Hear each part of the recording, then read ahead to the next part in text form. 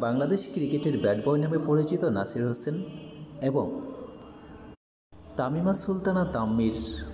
আলোচনার জ্বর সমুদ্র বেয়ে যেন মহাসমুদ্র পর্যন্ত গিয়েছিল এবং এখনও সেই গল জড়াচ্ছে আদালতে, প্রতিনিয়ত আদালতে তার শুনানি হচ্ছে। কিন্তু সব কিছুর ছাড়িয়ে নতুন কথা হচ্ছে, তামিমা সুলতানা তাম্মি হয়েছেন। পুত্র সন্তানের বাবা হয়েছেন ক্রিকেটার নাসির হোসেন। সোমবার আঠারো এপ্রিল কোল আলো করে ফুটফুটে সন্তানের জন্ম দিলেন তামিমা সুলতানা তাম্মি গণমাধ্যমে বিষয়টি নিশ্চিত করেন নাসির নিজেই। দেশবাসীর কাছে দোয়া চেয়েছেন। এর আগে গত পঁচিশ ফেব্রুয়ারি তামিমার বেবি বাম্পের ছবি দিয়ে অন্তঃসত্ত্বা হওয়ার খবর জানিয়েছিলেন নাসিরের।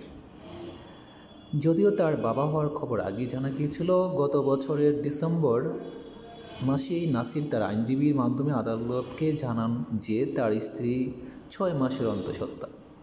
দুই হাজার একুশ সালের চোদ্দ ফেব্রুয়ারি রাজধানীর উত্তরার একটি রেস্টুরেন্ট তামিমা সুলতানা তামিকে বিয়ে করেন ক্রিকেটার নাসির হোসেন। গত কয়েক বছর ক্রিকেট মাঠের চেয়ে বাইরের খবরই সবচেয়ে বেশি শিরোনাম নাসির। একসময় জাতীয় দলের অপরিহার্য খেলোয়াড় ছিলেন তিনি, কিন্তু দীর্ঘদিন ধরে জাতীয় দলে অনিয়মিত, মাঝে বিপিএল গেলেও খেলতে পারেননি। এবার ঘরোয়া ক্রিকেটে জমজমাট আসর ঢাকা প্রিমিয়ার লিগের হয়ে খেলছেন প্রাইম ব্যাংকের হয়ে।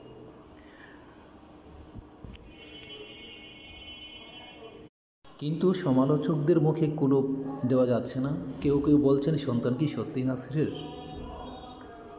নাকি তামিমা সুলতানা তামির আগের স্বামীর? যাই হোক, এটা আল্লাহ ভালো জানেন। সুস্থ থাকুক নাসির তামিমার সন্তান। আমরা সেই দোয়াই করি